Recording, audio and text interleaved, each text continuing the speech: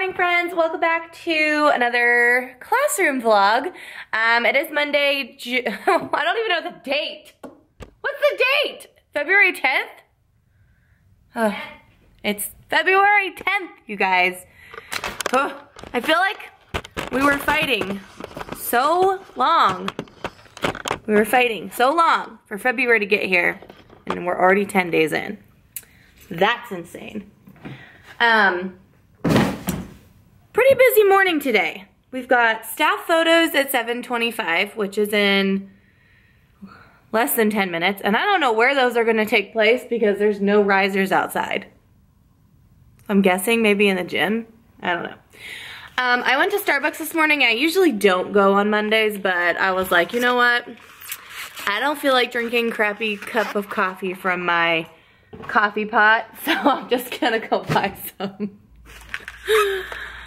And I also got breakfast, which I haven't really been eating breakfast the last couple of weeks. Like pretty much the whole month of February, or sorry, January and up until today, I wasn't eating breakfast. I've been doing like this little fasting thing.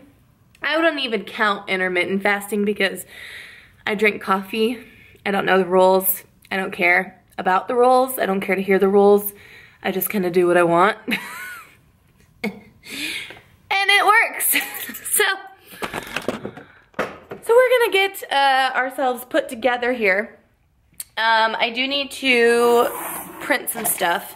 I don't have a special today However, I do have my school counselor coming in and teaching a lesson, so that will give me a prep time, which I don't usually get on a Monday, which is super great for me. So, um, I need to do a TPT purchase this morning before Mandy slaps me. Um, I need to go and buy Amy Groesbeck's next slew of anchor charts. I'm gonna do that now, Shmanda, so that we have it because this week we are starting data, um, measurement and data standards. And if you don't know what that means, that just means that we're starting like graphing, time, um, measurement of capacity, weight, things like that. So I'm just gonna go through, I'm using these third grade math exit slips from Create, Teach, Share. I love these. They're great. Um, I'm just to go through them and grab all of the MD exit slips and then I'm to go and copy them. That way they're already done and prepared for me. Um, I probably won't use all of them just because there's quite a few. Um, but that's cool. We're just going to pull them anyway so that we have them ready to go. And then I need to go and buy that TPT Amy Groesbeck's anchor chart. So I'm gonna do that right now before they give us a call. and I'll call teachers. Come take your pictures. Good morning, Mandy. Good morning. How was your weekend? It was good. It was good. Our pictures are at 7.45, I think. Oh. Not 25, so you're good. Okay. You good, Dante?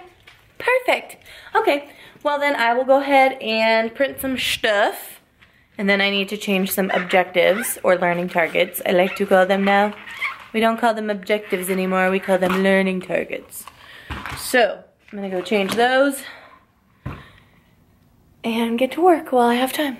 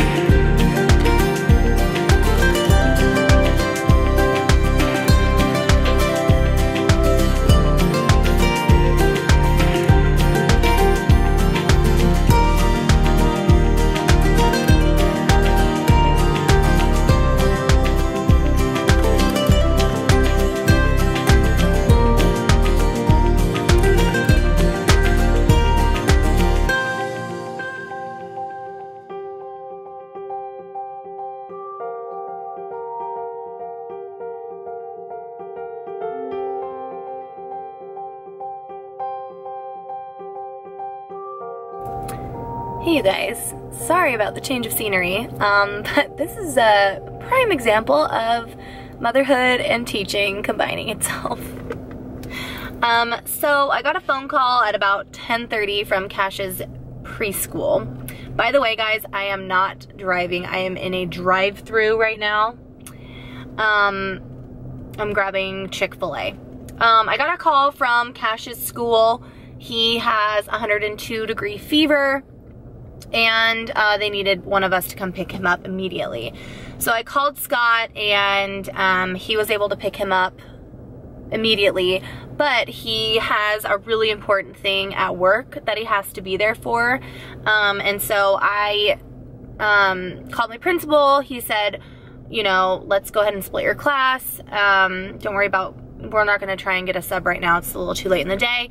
So we split the kids and I am running home so that I can be home so Scott can go to work. He goes to work at 1.30. So um, I am running through Chick-fil-A to grab Cash some lunch because I don't know what kind of sick he is. I know he doesn't have like any like tummy issues. He did have a runny nose, so I don't know if this fever is from like a cold that he's catching or if it's from teething because he has been grabbing at his mouth a lot um, and has been a little irritable. So I'm thinking that it's teething, but the school doesn't know that. So when they see fever, they panic and they call. Um, so anyway, I'm grabbing Chick-fil-A and then I'm gonna go home and take care of my little boy for the rest of the day. Um, Scott did say he would take tomorrow off if the fever is not gone tomorrow so that I can be at work. Um, so all I did is at the beginning of the school year, just so you guys know, this is something super good to do. If your school doesn't require you to do it, it's a good idea. Create a split list. I create two of them, one for a team level split and then another for a multi-grade level split. This would be like if, you know, they need to split the kids between more than just my teammates, um, then I send, you know, them across grade levels. It's like three kids to a class instead of eight, seven to eight kids. So I always provide my administrator and my office staff the split list and then that way if there is an emergency and there's no sub then they have a list of where the kids will go. Um, the kids are going to take their computers with them today and just work on Prodigy for math time and then um, during our writing time, they're gonna do a typing club, which is like a typing game. So not exactly what I had in mind for the afternoon, but I didn't wanna try and like slam together some type of plan. Um, but, so that's what they're gonna do. Luckily with Prodigy, they are still practicing their skills. And for typing club, that is extremely necessary because AzMERIT's coming and they're gonna have to type a response. So getting them typing practice is great. So anyways, Hi, you. so you guys, it is now, I don't remember what time. 6.30? Hi, baby. it's now 6.30 and we've had quite the day. Um, when I came home, I found that he had thrown up twice. Um, and he had a really bad fever. It was about 104, or sorry, not 104. Wow, that's really bad.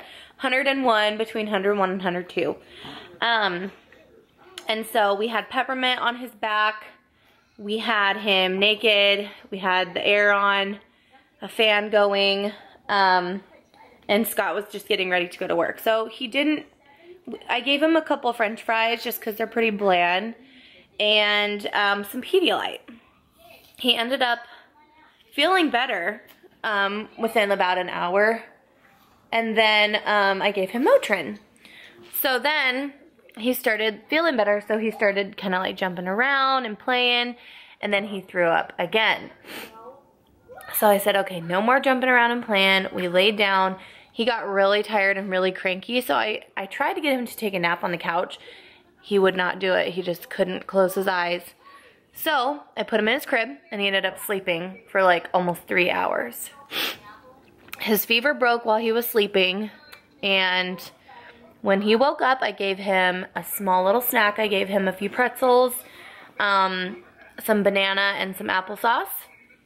And then I made him a deal. If he could keep that down for an hour then I would feed him actual food. And so this is his dinner. We're having apples, pretzels, and some peanut butter toast. I don't know how, if he's gonna eat the peanut butter toast. He had one little bite, but he loves apples and pretzels. We don't have any crackers, so. And then this is his third cup full of liquid. He did throw up quite a bit of the liquid earlier, but then he just drank almost a whole one of these Pedialyte, and now we're mixing Pedialyte and water. So he is hydrated, which is great. And his fever is, mm, he's a little warm right now. So we're just checking on that. You okay? No. No, you're not okay? He's watching Toy Story because that's what we do when we're sick. We sit on the couch and watch Toy Story, huh? You're watching, he calls it story time.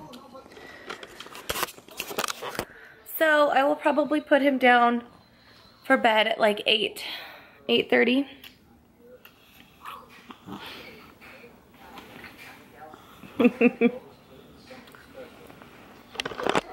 but um, sorry that this teaching vlog went from teaching to motherhood, but that's what happens in this house, in this life. So um, if you guys aren't already, go ahead and follow me on Instagram at apples and tiaras. I do a lot more updating there than I do here. Um, like and subscribe to my channel. And um, I'll see you guys in the next one. Bye.